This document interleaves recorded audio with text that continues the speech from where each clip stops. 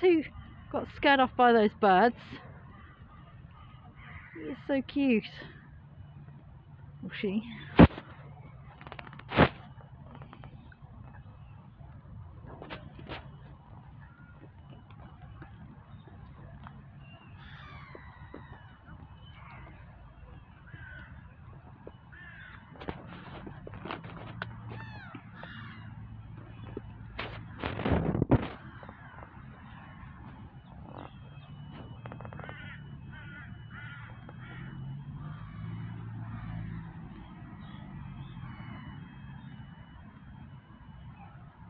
Right, little squirrel.